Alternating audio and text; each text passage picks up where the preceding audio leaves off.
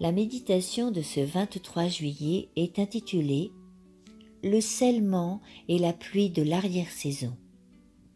Néanmoins, le solide fondement de Dieu reste debout avec ses paroles qui lui servent de sceau. Le Seigneur connaît ce qui lui appartiennent et quiconque prononce le nom du Seigneur qu'il s'éloigne de l'iniquité. 2 Timothée 2, 19 avant que l'œuvre soit achevée et que les enfants de Dieu soient scellés, nous recevrons l'effusion de l'Esprit de Dieu. Des anges envoyés du ciel se trouveront au milieu de nous. Notre Père céleste n'exige pas de nous ce que nous ne pouvons pas réaliser. Il désire que son peuple travaille avec ferveur pour accomplir le but qu'il lui a assigné. Ils doivent prier afin d'obtenir la puissance, l'attendre et la recevoir pour qu'ils puissent croître jusqu'à la pleine stature d'hommes et de femmes en Jésus-Christ. Les membres d'Église ne cultivent pas tous la piété. En conséquence, ils ne comprennent pas leurs responsabilités personnelles.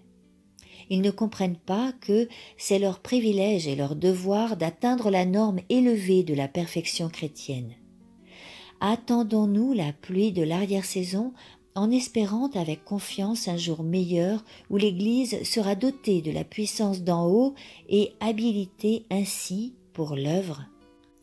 La pluie de l'arrière-saison ne rafraîchira et ne vivifiera jamais les indolents qui n'utilisent pas les capacités que Dieu leur a accordées nous avons grandement besoin de l'atmosphère pure et vivifiante qui nourrit et fortifie la vie spirituelle. Nous avons besoin d'une ferveur toujours plus intense.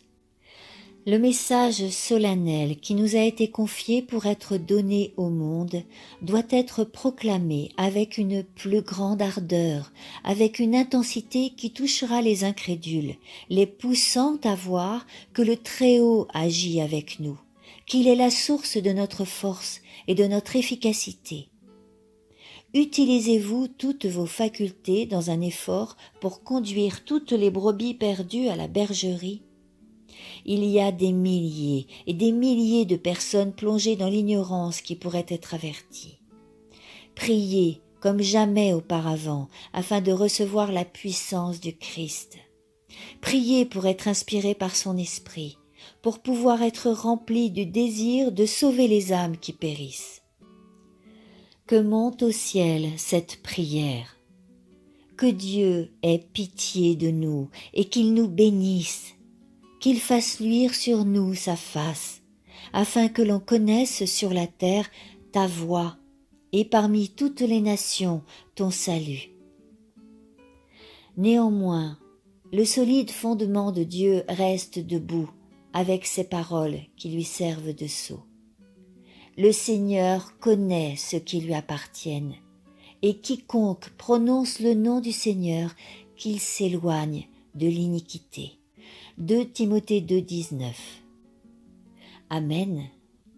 Si tu as apprécié cette méditation, n'hésite pas à liker le petit pouce qui pointe vers le ciel et à partager.